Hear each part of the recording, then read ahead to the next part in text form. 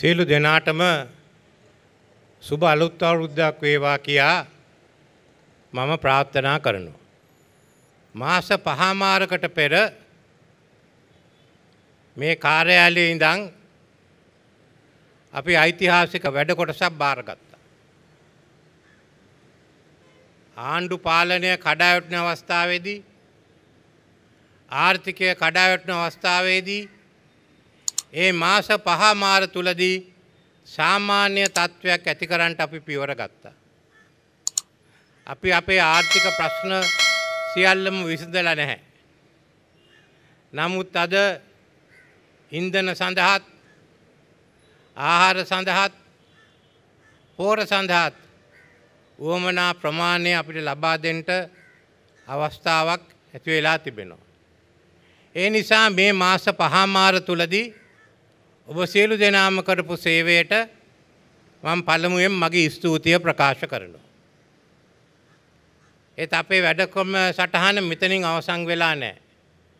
විශ්ව විස්තුවන වර්ෂය තමයි වැදගත්ම වර්ෂය වෙන්නේ.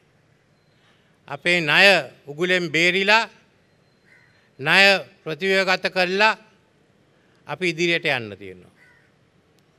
අපේ මේ ආර්ථික කඩාවැටීම නිසා අපිට අලුතෙන් අපි ජීවත් වෙන්න පුළුවන් ලෝක එක තන කරන්න පුළුවන් ආර්ථිකයක් ඇති කරන්න තියෙනවා.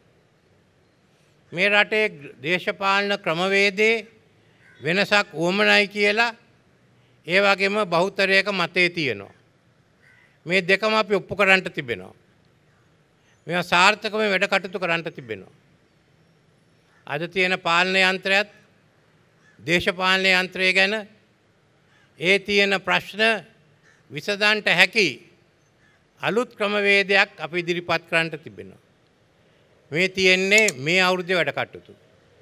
එහෙනම් ගිය අවුරුද්දට වඩා අපි සියලු දෙනාටම එකට එකතු වෙලා ක්‍රියා කරන්නට තිබෙනවා.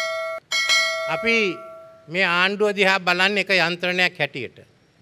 මේවා අමාත්‍යංශය අනුව යන්ත්‍රණ ගණනාවකට බෙදිලා නැහැ. එක යන්ත්‍රණයක තියෙන අමතර කොටස්.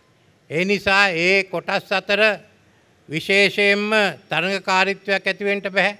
කම්බැදිල්ලක් ඇතිවෙන්න බෑ. තමන්ගේ වගකීම සීමා කරගන්න බෑ.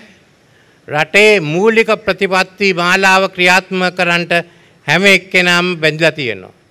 මේකේ කේන්ද්‍ර ස්ථානය වෙන්නේ අද මෙතන තියෙන මේ ජනාධිපති කාර්යාලයත් ඒ වගේම කැබිනට් කාර්යාලයත් ඒ වගේම අගමැති කාර්යාලය. මෙතනින් තමයි අපි ඉදිරියට යන්නේ. ඒ නිසා මම එක කාරණයක් කියන්න කැමතියි. තමන්ගේ වැඩ කටයුතු දවසේ පැය 8කට සීමා වෙන්නේ නැහැ. තමන්ගේ වැඩ කටයුතු සතිය දවස් 5කට සීමා වෙන්නේ නැහැ. මේ ස්ථානයේ ඉන්න හැම එක්කෙනාම අපි කැප වෙලා වැඩ කරමු. විශ්ව විශ්වන අවසන් වෙනකොට මේ රටේ සාමාන්‍ය තත්ත්වයක් ඇති කරමු කියලා බලාපොරොත්තුවෙන් මම ඔබ සියලු දෙනාගේම සහයෝගය ඇතුව මේ රට ඉදිරියට ගෙනියන්න බලාපොරොත්තු වෙනවා. ඔබ සියලු දෙනාටම ස්තුතියි.